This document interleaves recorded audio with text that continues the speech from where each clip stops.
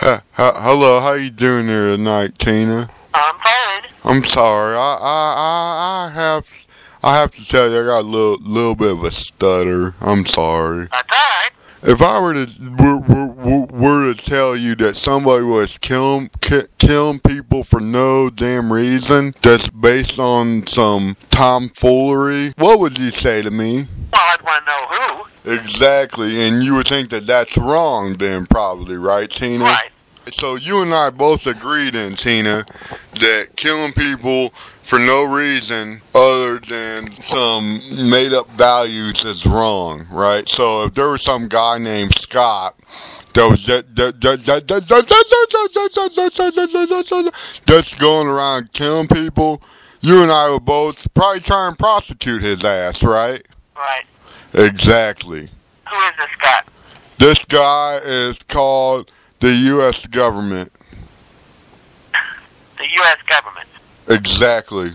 Does that sound too radical for you there, Tina?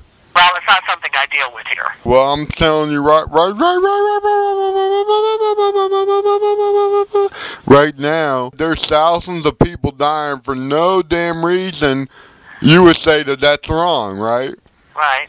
Exactly. So there are thousands of people dying for oil and money. What do you have to say about that, Tina? Well, I'm sorry about that. I really am. Are you really sorry about that? Do you feel Yeah. the Do you feel the pain of those people that are dying? There's nothing I can do at this point. I'm at work right now. You know, this is not a topic I should be talking about on. That is cold-hearted, Tina.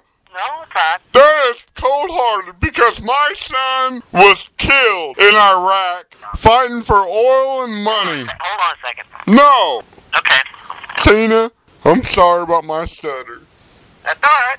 But the, the, the, the, the, the, my son was killed in Iraq for no damn reason. I'm sorry. For oil and money. Mm-hmm. And I'm sure you probably voted for Bush. And you just helped my son die. Do you feel good about yourself? Do you feel good about yourself? I don't know what you want from me. I want you to tell me, do you feel good about yourself for voting for somebody that helped kill my damn son? I don't know that I did. But you probably did. You don't know that. Well, I'm saying there's a pretty good chance that you did there, Tina. Alright, hold on just a second. Okay. Officer Bushy, how can I help you? Hey, how's it going? Who am I speaking with? My name's Jonathan. Jonathan what? Jonathan Clemens. Okay. What's your name? I'm Officer Bushy. Officer Bushy? Yes. You're already on the wrong foot, pal. Okay. What can I do for you, sir? I don't have time to waste. You don't. What can I do for you? Okay, so if I were to tell you, Officer Bushy, that there were thousands of people being killed for no damn reason, what would your response be? Sir, what's your address? My, what, what's your address? Sir, this is the police department, alright? Exactly. And I'm calling for a real reason.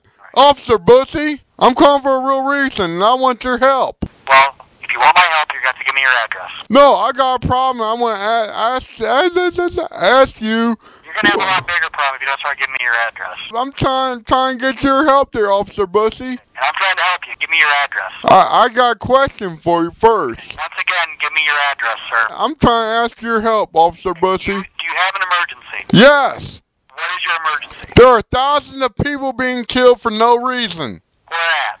In Iraq! Okay, I can't do anything about that. Are you inside the city of... Yes! Okay, what's your address inside the city of... For crying out loud!